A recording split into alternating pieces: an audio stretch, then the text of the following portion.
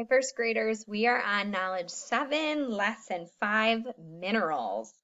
Our first vocabulary word is gemstones. Say gemstones. Gemstones are stones that are cut and polished to be used in jewelry. The next word is minerals. Say minerals. Minerals are natural substances found in the earth, the building blocks of rocks.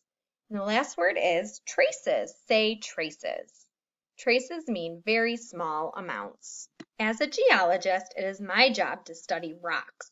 There are many, many different kinds of rocks out there in the world, and I have collected quite a few rocks during my time as a geologist. Here are some of the rocks and minerals from my collection.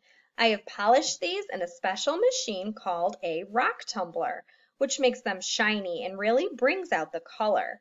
In this pile alone I can see amethyst, tiger's eye, rose quartz, turquoise, red jasper, onyx, and a lot more. Whoa, sorry, I get carried away sometimes. Minerals are the building blocks of rocks. All rocks contain minerals. Sometimes you can find pure minerals unmixed with other minerals, but most rocks contain several different minerals. There are over 3,000 different types of minerals and scientists still discover new ones from time to time. Minerals come in all different sizes, shapes, colors, and textures. We use these different characteristics to divide minerals into groups. Some of these mineral groups are quite common, whereas others are very unusual and even difficult to describe. I will tell you about a few of the best known minerals. For instance, this is a picture of the mineral quartz, Quartz is the most common mineral in the Earth's crust. Not the most common in the whole Earth, just the most common mineral in the crust. This picture shows a type of quartz called milky quartz. Quartz come in many varieties. Those are clear quartz crystals on the top left. Some minerals form into perfect crystals like these, and some don't. It all depends on where and how they are formed within the earth. Crystals can come in all different sizes.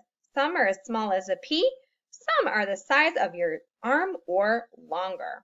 As for the color variations in different types of quartz, these are largely caused by the addition of very small amounts of various types of metals into the mineral.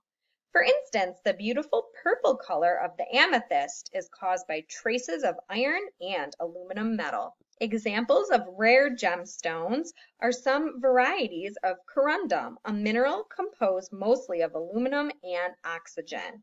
Red corundum is known as ruby, and blue corundum is known as sapphire.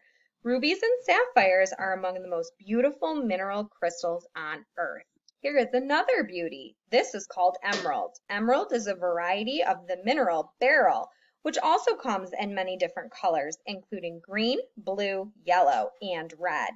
Deep green emerald is my favorite. And here is one of the most famous minerals. Do you know what this beauty is called? These are diamonds. A diamond is the hardest mineral in the whole world. A diamond is hard enough to cut through glass or scratch other minerals. The diamond on the left is a raw diamond, fresh from the earth.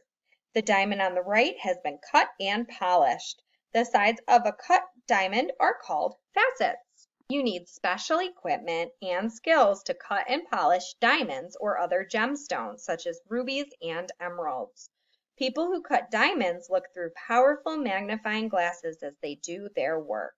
This is so they can see all the tiny little facets or sides. Here is a mineral that most of us use every day. Have you ever heard of salt? Salt or sodium chloride is a common mineral that is found in the oceans and in the earth. Sodium chloride is called table salt when we use it in food and rock salt when we use it to make roads safer during winter storms. Some people put table salt on food to make it taste better. In fact, salt is an extremely important nutrient for people as well as animals. Your body needs salt, not too much, but just enough. Too much salt is bad for you. If you eat too much salt, your body will tell you because you will feel thirsty. Salt appears in many forms in nature. Rock salt can be found in the form of halite crystals, like the rectangular shaped crystal pictured on the left of our image. You can't see salt in water because it dissolves, but you'll know it's there if you ever taste ocean water. Why do all these different minerals look the way they do? Each has its own story and it gets pretty complicated, but you can bet that there are three basic things in common. Heat, pressure, and time. These three factors play a role in the formation of every mineral. Important thing to remember about rocks you find in nature is that you should leave them there so that other people can also enjoy them.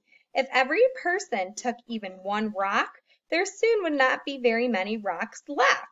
Without rocks, environments or natural surroundings change dramatically.